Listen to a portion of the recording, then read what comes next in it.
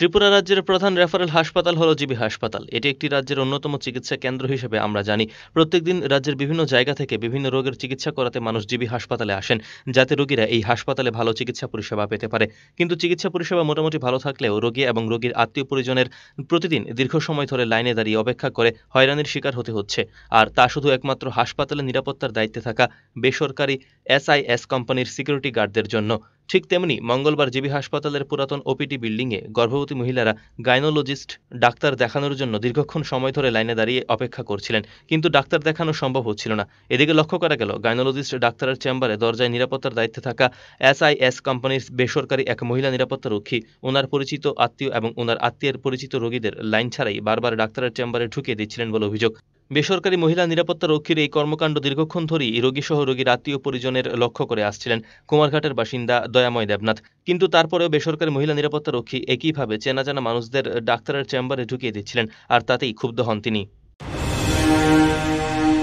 Sweeper থেকে এখান থেকে রুগী নিয়ে আইছি। আইয়া আজকে পাঁচ দিন থেকে একের পর এক দেখতেছি আমরা সারাদিন লাইনে থাকি আমরা লাইনের কোনো লাইন পাই না। কারণ হলো কে কার কে নিয়ে আসে এখানে সিকিউরিটি ঢুকিয়ে দেয় চলে যায়।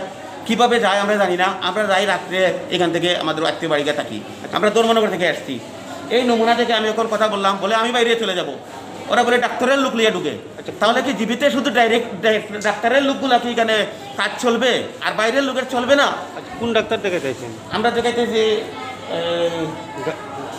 গাইনোলজিস্ট গাইনোলজি আমরা গাইনোলজি ডাক্তার দেখাইতে আইছি আজকে পাঁচ দিন এখানে আমার এই হসপিটালে চলে। মানে আপনারা এখানে লাইনে আছেন মানে মানে ওই দিক দিয়ে অন্য রুগী ঢুকাই নিতে হ্যাঁ অন্য লোক দোকান হইতেছে। আমার মিসেসকে আমি লাইনে লাগাই গেছি।